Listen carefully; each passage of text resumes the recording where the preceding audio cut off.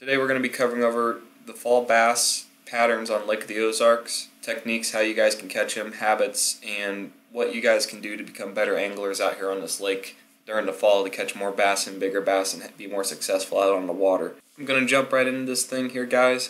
But first, if you guys are new here, subscribe to the channel so you don't miss any more content like these, any more of my lake breakdowns. I have some out already for crappie, bass, and walleye on the lake. If you're interested in any of those species and how to catch them on Lake of the Ozarks throughout the year, check out some of the other videos on my channel.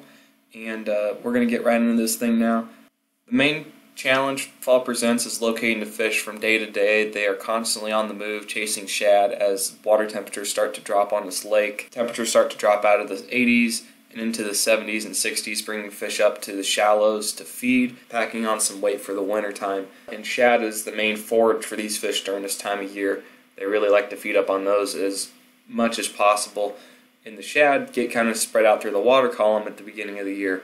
So in the beginning of fall, the shad are actually suspended out here a little bit more off these points and kind of doing their summertime thing that they do. This is the Osage River arm up here. I am up here. I don't know what mile marker I'm at exactly, but I'll zoom out so you guys kind of see where I'm at on the lake here. But I'm up here kind of on the upper end of the Osage arm. This is a big long cove here, and these fish will be out here on these points during the summertime maybe they're off a couple of these secondary points, some of these different docks, if there's brush piles and things like that, they'll be suspended out in there. And then as the temperatures start to cool off in the very beginning, like let's say late September, early October, like we're in now, I'm, I'm sitting here recording this today. It's October 2nd. We got a cold rain kind of coming in, cooling some things off. This water temperature in this top layer here will start to get cooled off just a little bit because it's been up in the 80s and it'll start dropping down to the 70s I think the water temperature right now is like in the mid 70s as I as I speak it right now. Some of these fish are still going to be hanging out on these points doing their summertime thing, and the only difference that'll happen with these fish that are hanging out here is they'll start to suspend up in the water column, so they might have been suspended down like 10 to 15 feet in the water, and now that the bait is coming up to the surface, they're going to come up to the surface as well. And as the water temperature keeps continuing to drop down like a rock, these fish will continue to migrate and follow these bait fish as they come back into these shallower pockets right off these ends here. These are going to be the areas that the bait fish are going to go into first.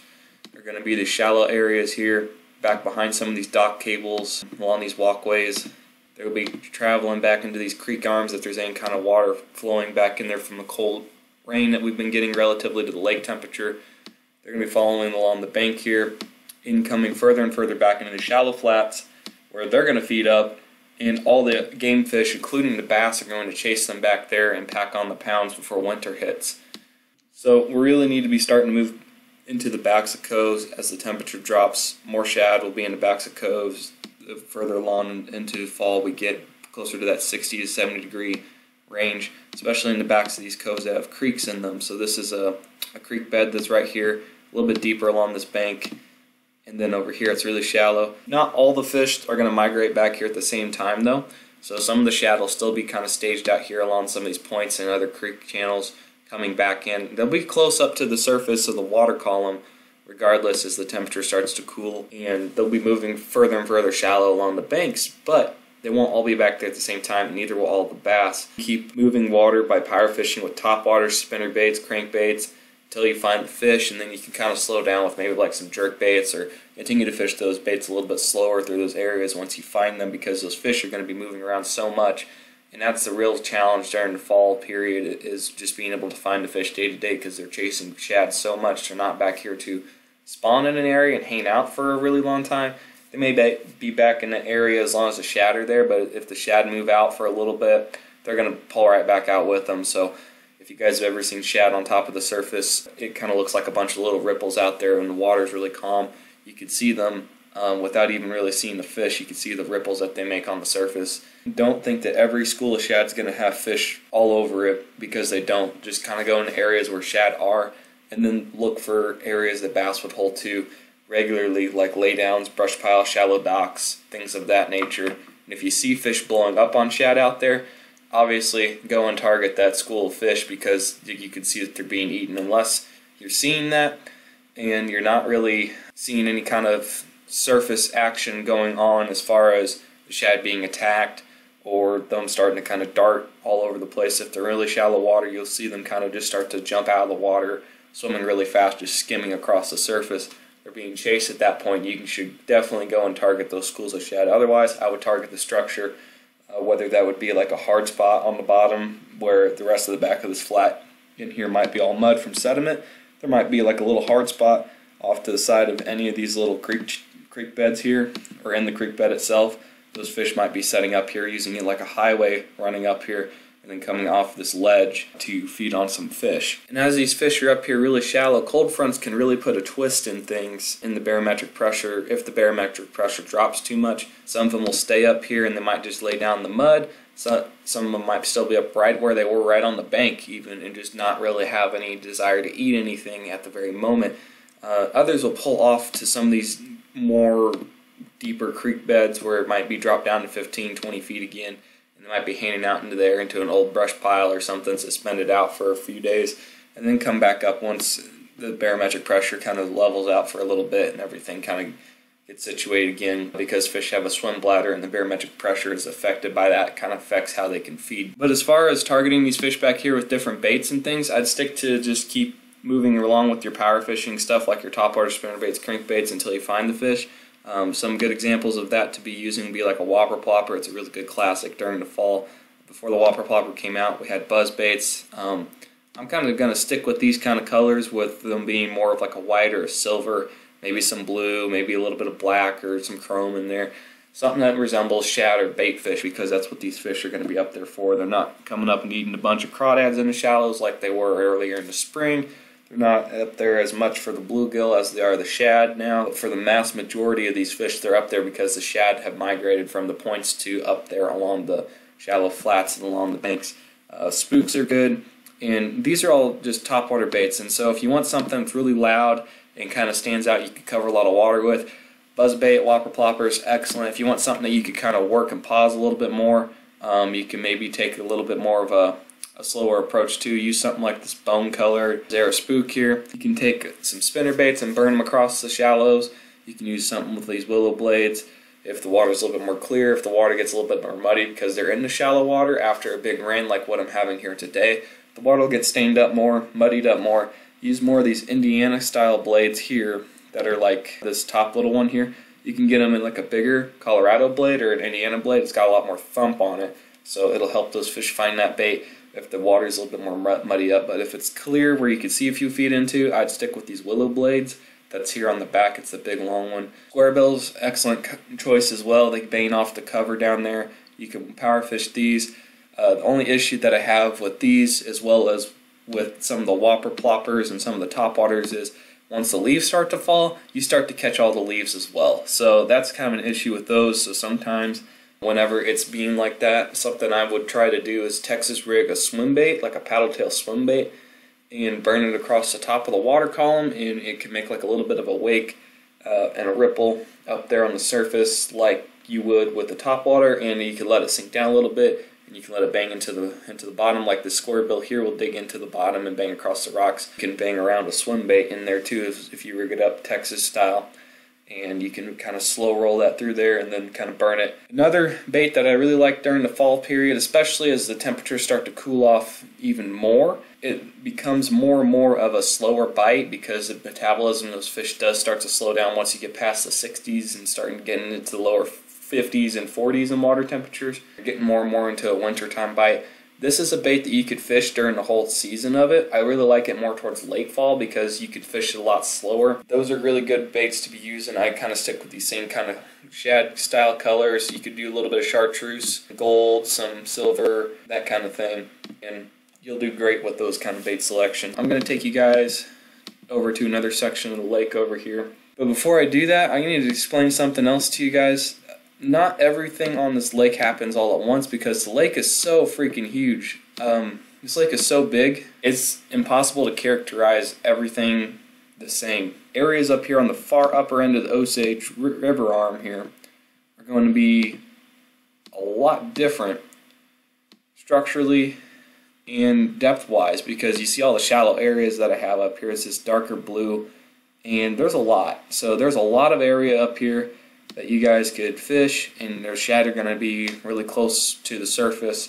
The bass will be up there, and this area might be excellent during the beginning of the year. This water temperature is going to cool off faster because it's shallower. Shallower water changes temperature faster than deep water. So the upper ends of the Osage are going to be cooled off a little bit faster. Those fish might be in the backs of these pockets, like back into these creek coves, like these. Before they even get close to that, there might be a whole week or two out from some of the areas back in here along Bagnell Dam on the lower end of the lake where it's like 100 foot deep in the main channel, as opposed to like 20 feet deep up here on the upper Osage. So keep that in mind as I'm telling you guys this. Um, those fish are going to be a lot sooner and further along on those upper arms, especially even like the little Niangua up here or the big Niangua up here. Again, you see a lot more of that darker blue. It's shallower water. Those areas are going to be like that. They're also going to be the first to muddy up during a big rain, so keep that in mind as well. And speaking of muddying up, the lake will go into what we call a fall turnover, where the whole lake will turn to more of like a chocolate looking mess as more and more of the bottom gets stirred up from the cooling water temperatures on the surface. As that water cools off, it becomes the denser water and it starts to mix with the bottom because the bottom will be warmer than the top, so the bottom water will come up to the surface, pulling all the debris on the bottom up with it. And therefore, you have like this little bit of a whirl- whirling effect where it's kind of cycling through the water from the top to the bottom. It stirs up everything and makes everything really foggy uh, heavy stain to like a muddy water. It can be really tough to fish the fall turnover, but it is not impossible to catch fish still. I would just slow down your approach and use something that's got a lot of vibration to it, something that's got a little bit more chartreuse or maybe like a black so they can just see the silhouette of the bait up there. Just something that's going to stand out in that water column because it does get harder for those fish to hunt as their sight goes down in that muddy water. I'm going to take you guys up here onto the big Niangua and show you guys an area that gets really good during this time of year up by Ha Ha Tonka.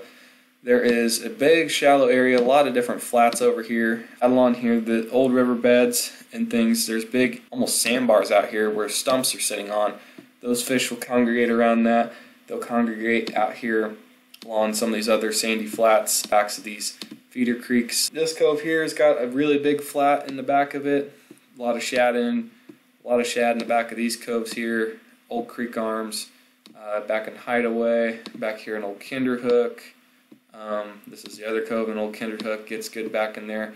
Any kind of laydowns you guys can find in any of these coves, any kind of uh, stumps, any kind of brush piles, those fish are going to use that as like an ambushing spot. So if those shad are not right by them, those are kind of where your more lethargic fish are going to be kind of hanging out at in general. Uh, but that doesn't mean if you run a square bill or a spinnerbait right by that brush or right by that log that there's not going to be a fish that comes out and just nails it because they're waiting there opportunistic like instead of chasing the fish constantly they're going to kind of hang out in those areas especially on a big or sunny day middle of the day those are going to be your key areas they're going to be right up against that tight shade some of these backs of these coves here as well they get good uh, these big long points like this one here it's really profound um, some of these different shelves out here, there's some different shelves all along through here.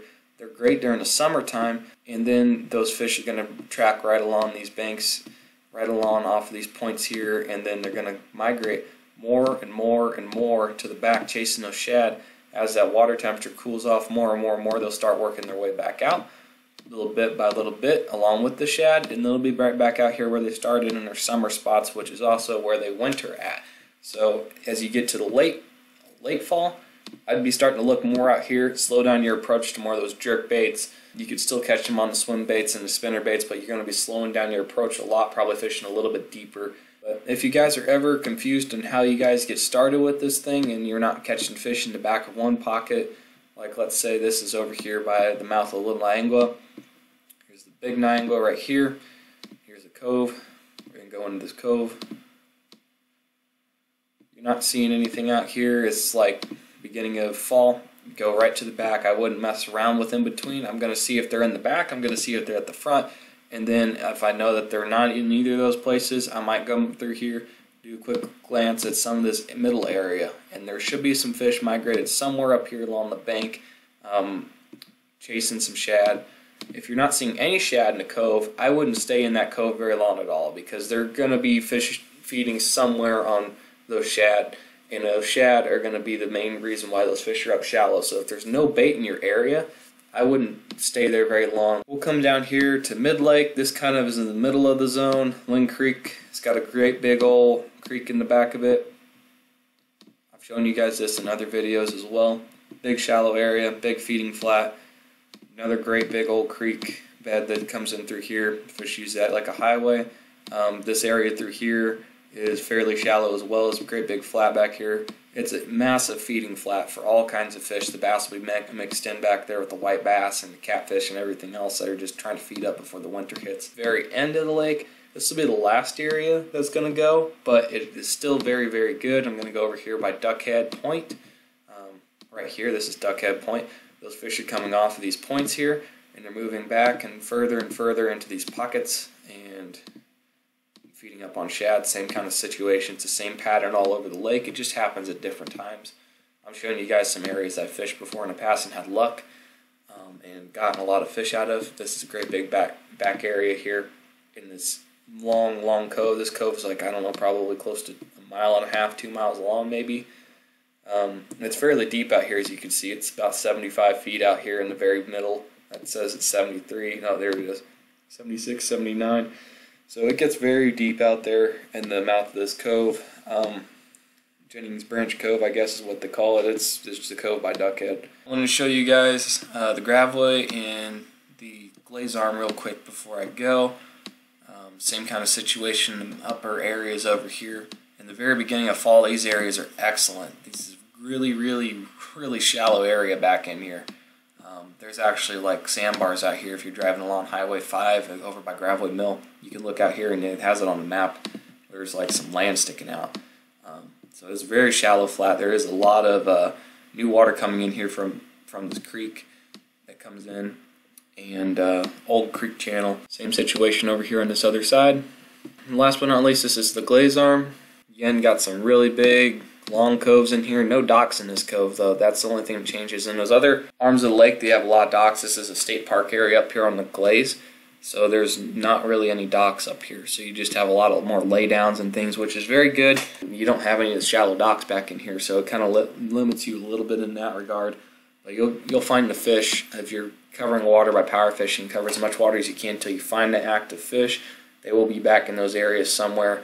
That's true for anywhere on this lake. Just keep finding active fish because if you're hanging out in an area too long, you'll be kicking yourself when you find out that you spent an hour in a cove and you didn't catch anything and you need to go to the next cove over and there was a ton of shad blowing up back in there the whole time. You could have been on that entire time you were over there not catching anything. So, and as long as the fish are feeding in that area, stay there. As soon as they kind of die off, you're not catching anything for a few minutes, I'd move on because those fish have. Without further ado, guys, I'm going to call this one. Um, I could talk here for another hour about all the different places on the lake that can you can catch fish. There's bass all over the Lake of the Ozarks. You don't have to go to any of the places I showed you here today. You can go find your own, or you can fish some of the ones I showed you. Um, there's enough fish in this lake. I'm not going to run out of them to catch. So. Uh, thank you guys for watching today's video so much. Subscribe to the channel if you've not yet done so. Drop a thumbs up down below and share this with your friends if you enjoyed this. Uh, thank you guys. We'll catch you on the next one and have a good day. Good luck out there.